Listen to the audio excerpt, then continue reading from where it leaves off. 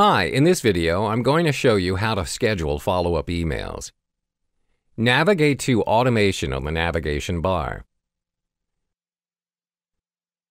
Select your desired campaign.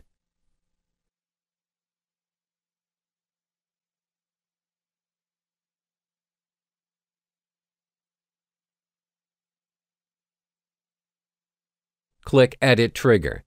You'll see which triggering event you've selected, and you'll have the option to determine when the first email is sent.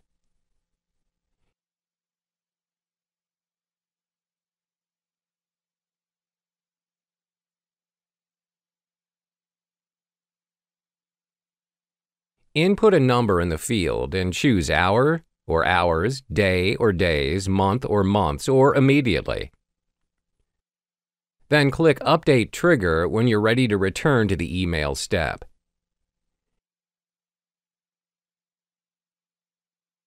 The Edit Schedule option will allow you to choose the time and days of the week at which the email is sent.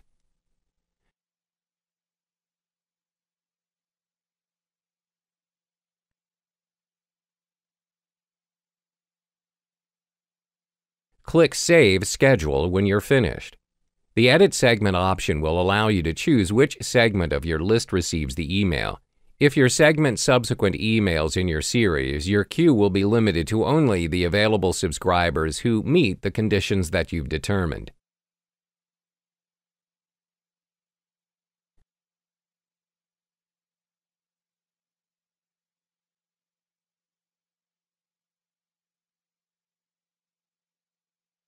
Click Save Segment when you're finished. The Edit Action option will allow you to perform a specific action on each subscriber after the email is sent.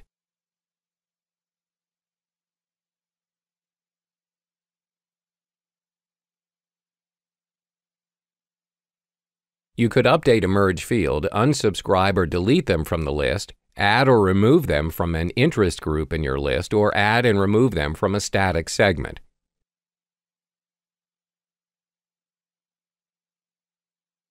Click Update Action when you're finished.